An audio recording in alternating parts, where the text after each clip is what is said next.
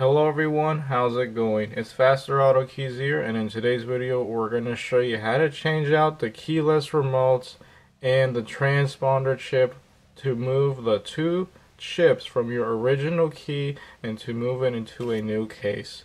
It's very common that these older Volkswagen keys have a messed up panic button.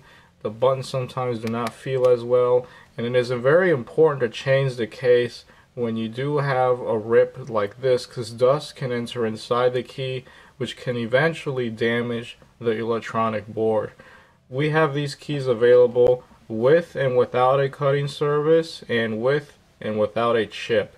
You can check out our website and we'll provide a link below in the description. If you already have two keys or more that are already cut to your vehicle, it might be best that you just buy the key without a cutting service so that way you can just transfer the chip and then the blade as well to the new key instead of having another cut. However, if you only have one or you do not have a backup key, uh, we highly recommend a cutting service so that way you have another blade to the vehicle in case you ever need it. And if you'd like a key with a cutting service, it's very easy. All you have to do is text our support number with a photo of your key blade something like this where it is clear and we're able to see it and this is how we're able to provide a copy. We have provided over a thousand cutting services like this on our eBay page and on our personal website. Check out the link below in the description and find what works best with you. If you have a late 90s, early 2000s Volkswagen key with this design, this tutorial is also compatible and we do have these keys in stock and if you have the newer 2010 and up Volkswagen keys, this tutorial is not compatible. However, we will create a tutorial and it will be in the description once it's available. We do have these keys as well. What you will need for this tutorial is a small Phillips head screwdriver, a small flathead screwdriver, and a regular size flathead screwdriver. Your original key will have three things inside in the bottom part is the keyless remote and the battery and the top part is the transponder chip. In this complete tutorial we're going to show you how to change first the bottom half that has the keyless remote and the battery and the top half that has the transponder into a brand new key case. If you're only going to change the bottom part this is a very easy tutorial and it will be a little harder if you're trying to change the top part that includes the transponder chip. First thing we will do is change the bottom portion of the key that has the keyless remote and the battery and the first thing we're going to have to do is go ahead with both of these keys and separate the top and the bottom half. If you ever changed a battery before you're probably familiar with this step and generally you can just simply pull it out and it will separate and if it's not easy for you you can use a flathead screwdriver and you can push the two halves apart.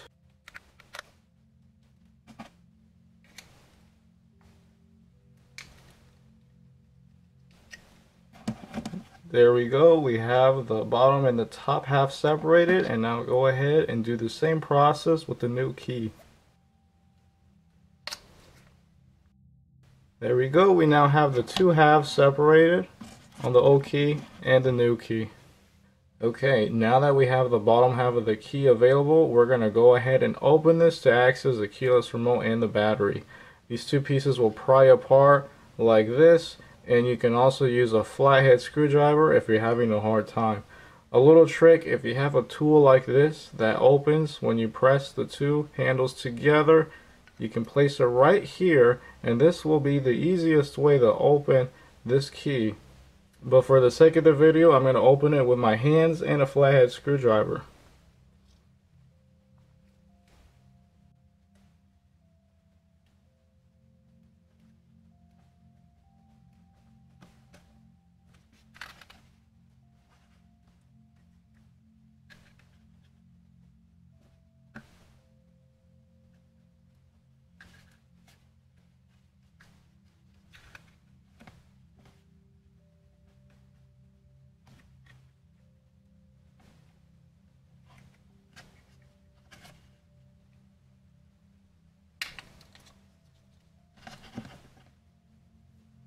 There we go. We now have the two halves of the key opened and if you want to change the battery, uh, this is a CR2032 battery.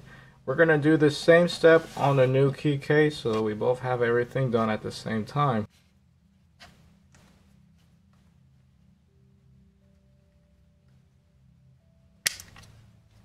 There we go, we now have the new key case open and as you may tell, it's much easier to open this because it is new. At this point, we will remove the keyless remote and the battery from the old key to move it onto the new key.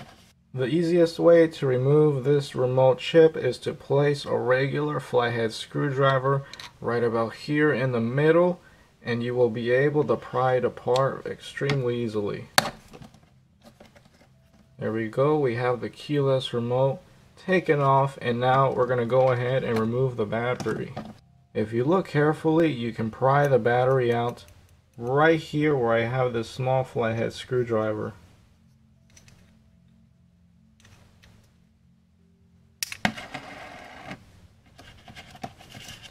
There we go, we have the battery removed and as mentioned, this is a CR2032 battery. I will be using a brand new battery for this particular key and make sure that the negative side is facing towards you. And now we can go ahead and transfer the keyless remote. Make sure that the hole on the remote goes along with the pin inside the case so it will hold it in place correctly. And once you have the battery and the keyless remote in the right spot, go ahead and close the fob together and look around all the sides and make sure there are no gaps.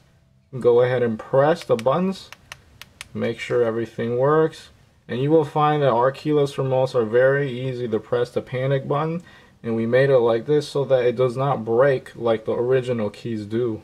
Now that the bottom half of the key is done, we're going to go ahead and move to the top half because we're going to remove the transponder chip that is inside this top half of the key. There is this little chip as shown earlier in the video that is needed to start the vehicle. Your vehicle will not start with a cut blade the way it is it also needs to detect a programmed transponder chip. If you have the late 90s, early 2000s Volkswagen key style, there is a chance you do not have this transponder chip, which will let you skip this part of the tutorial. I believe it is at 2001 when Volkswagen keys started to use a immobilizer chips. So if you have a 1998 to a 2000, there is a good chance you do not have to do this part of the video. One way to check would be to try turning on the vehicle with the brand new key that does not have any chips inside. If the vehicle starts with this key, then that will mean you do not have a transponder chip inside. In order to access the transponder chip inside of this key, you will need to open this part and as you can tell on the new case there is a screw and this old key will also have a screw right there. We will have to remove the emblem remove the screw and then separate the two halves so we can pull the transponder out of this key. One of the easiest ways I have found this to work is to use a Phillips head screwdriver and you actually just drill where the screw is until you can access it and go ahead and remove it.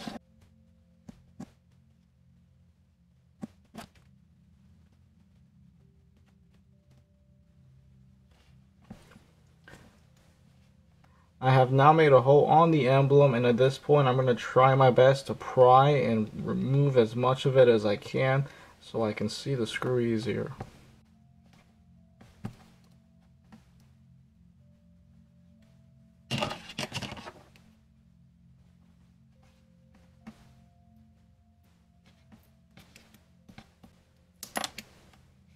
There we go, we have the emblem off and now we can see where the screw is.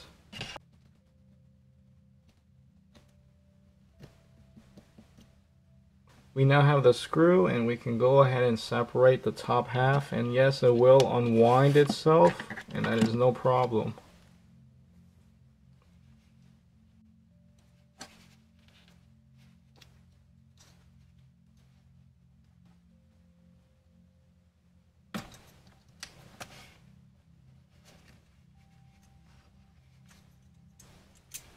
Apply a moderate amount of hot air either from a hair dryer or a little less from a heat gun in order to make the glue weak and easy to remove the transponder chip.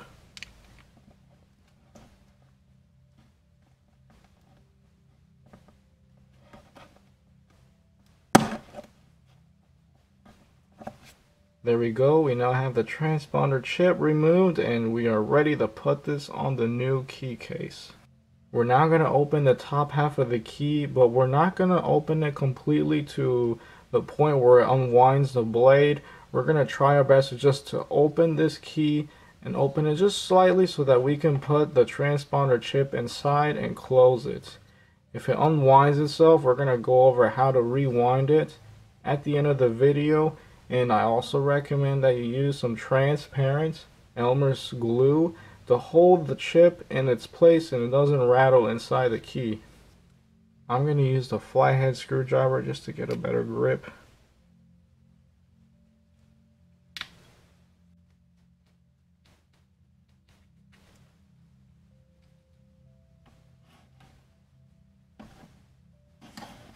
Okay, we now have the screw off and we're just going to open it just a little.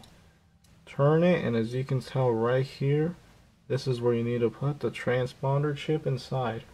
We're going to apply a very small amount of glue and then once I do this, I'm going to put the chip inside. Alright, I put glue inside already. Just going to put the chip. We're going to close it. Gonna place the screw back. We will be good to go.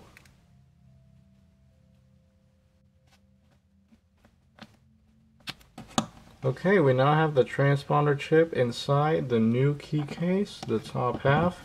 And now we're going to use the top and the bottom half. We're just going to snap these two together. And we're good to go. Alright, there we go. We now have everything inside the new case and you officially have a, a, brand new looking key with the original transponder chip and remote inside. This key in particular will have a cutting service, but if you are not going to order a key with a cutting service, you can go ahead and use the arm from the original key and just use it in place of this arm and you should be good to go. If for whatever reason the arm doesn't work, there is a pin that is holding this key blade in place, which is right here.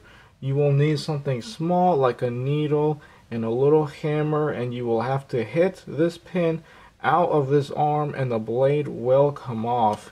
Then you can do this with the new key and as you can tell the pin is right there and then you can put the original blade into this new key shell hit the pin, have it back in place, and from there you will be good to go. Once again, we have these keys in our store available for sale with and without a cutting service and with and without a chip inside. If you want a cutting service, send us a photo at our tech support number of your key blade, something like this, and we'll be able to make a copy. This is the end of the tutorial. At this point, we're going to show you how to rewind the flip blade mechanism if you are using your original blade or you accidentally unwinded it. Okay, we will now go over how to put this top half of the key back together and work so that when you press the button, the flip blade flicks up and it snaps in place when it's put down. First thing you will need to do is go ahead and grab the arm with the blade and you want to place it on this section of the key so it sits like this. Once you have this in place, if your spring and button is separated, make sure that this end of the spring that does not have this section sticking out goes into the button and turn it until you feel tension. So I immediately put it inside and I felt the tension so it was already good to go. But if you put it in at an angle, just go ahead and spin it until it goes in a little more. And now it stays in place. Alright, now we have three little arms that stick out of the button. There are two that are exactly the same, and then there is this top one that is higher. You want to go ahead and look at this section of the key and you will find that there is a little hole right here which is the very top you can tell that the arms of the button will align perfectly with this section so we're gonna put the top part this little arm right here right there so that it all falls in place you will know that you did a good job if the button completely sticks out like this and this is officially good to go. Now I would like you to observe the other half of the top end of the key and as you can tell right there near the top there is a little hole.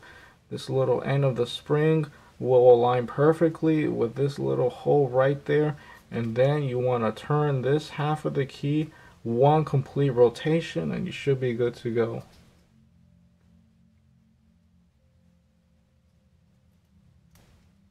As you can tell, the little spring, the end is right in that hole I was talking about. We're going to give it one complete rotation and it might come off. Just try again. But in this case, we are perfectly good to go. And now you want to put the screw inside.